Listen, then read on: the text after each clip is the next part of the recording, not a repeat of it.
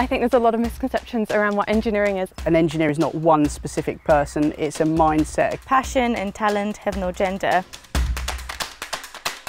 Diversity is critical in creative teams. A problem requires you to look at it in lots of different ways. So many great designs are not developed with just one single perspective.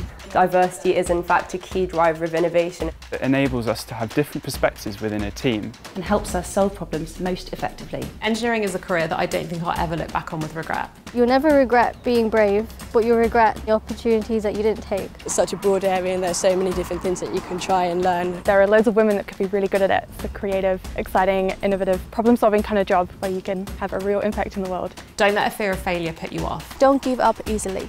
Be persistent in front of failures, doubt, challenges. You can achieve anything so long as you put your heart into your work.